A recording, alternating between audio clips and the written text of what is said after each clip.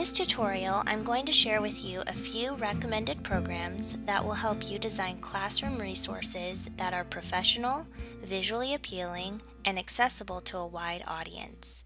The two programs I'll be highlighting are easy to learn and fairly inexpensive when compared to other design programs. Know that it is entirely possible to create classroom resources with alternative programs, but not nearly as efficient or cost effective. The first program I'd like to highlight for you is Microsoft PowerPoint. This is a go to software for many teacher creators because it allows you to format worksheets, rubrics, printables, and presentations for the classroom using the Microsoft interface that you've likely used at work or at home. Adding things like clip art, text boxes, and easily formatting tables is much more efficient than when using word processing programs like Microsoft Word, which can really limit your ability to move objects around freely and get that visually appealing format that you're looking for. Resources designed in PowerPoint also convert to sleeker, more professional looking PDF documents because you can easily fill the entire page without being restricted by margins. The second program I'd like to highlight for you is Adobe Acrobat Pro.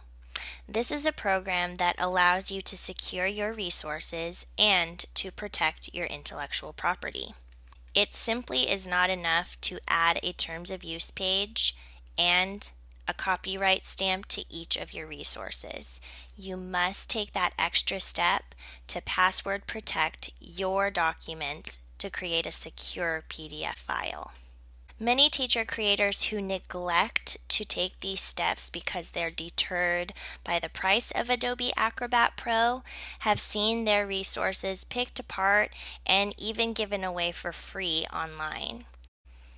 You also run the risk of breaking the terms of use of graphic artists and font designers when you publish your resources as non secure PDFs. It's easy for people to separate the layers of your documents and take away clip art and fonts for their own use.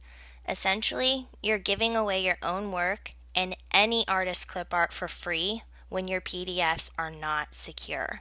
Adobe Acrobat Pro eliminates this problem. If you already have these programs installed on your school district provided computer, you must purchase your own license for your personal computer.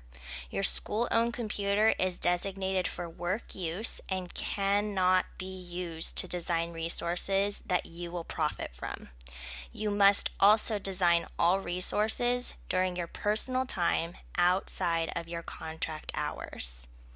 That's all I have to share about my recommended programs for teacher creators. You'll see me using these programs throughout our other video tutorials. Once you have programs that you want on your home computer, come back for Preparation Tool 2, which will teach you how to get your computer organized to increase your productivity.